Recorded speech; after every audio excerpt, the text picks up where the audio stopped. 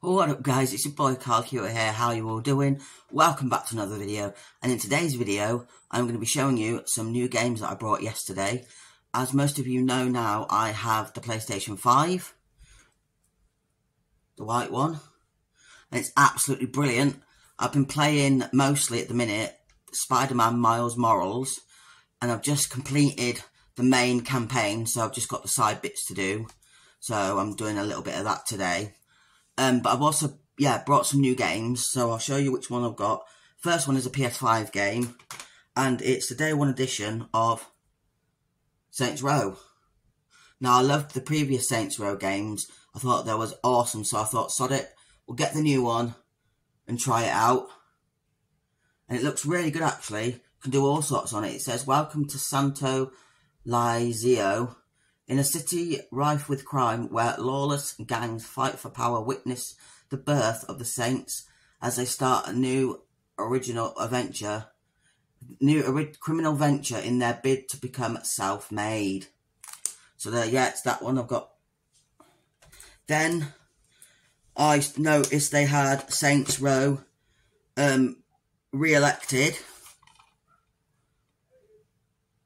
So I brought that one as well. I loved playing this on the 360. It was absolutely brilliant. So I thought I'd get it for the PlayStation 4.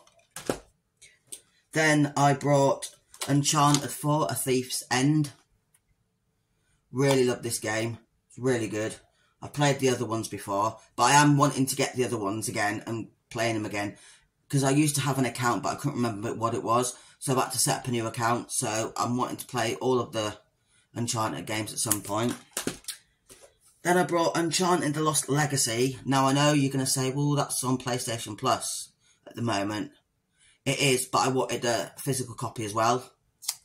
And then the last one I brought is Dead Rising 4, Frank's Big Package. So they look really quite good.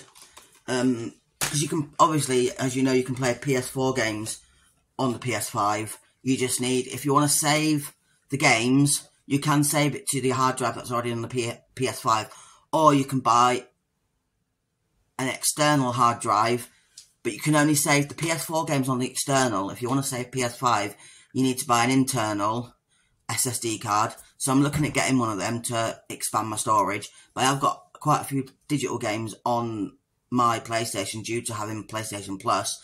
That runs out on Saturday, and I brought the extra, but this time I'm going to buy the premium because then you can play PS3 games through the cloud. So that'll give me a whole more library of different games to play. But I'm absolutely loving my PlayStation. I was looking online because you can buy cases for them, so you can take the white case off and put another one on it. And I was looking to see how much the Spider-Man one would be. And for the shell, it's £44 on eBay. I thought, right. And I looked to see how much the Spider-Man controller would be. 100 odd quid and I was like, nah, I'm just going to keep it white for the time being. Might have a look at doing camo or something, but depends what the prices are and everything. But yeah, they're, they're the games I got, which I'm quite pleased with. Brought them from CX, I did a click and collect, so I ordered them and then went down and they had them at the back ready to, for me to collect, so that's really good. So I hope you're all doing well and keeping okay. I know, as you noticed, I haven't done a video for a while but I want to get back into doing videos again. So if you like this one, give it a like. And if you're new to the channel, I'd really love a subscribe, subscribe. So yeah, and as always, I'll see you later.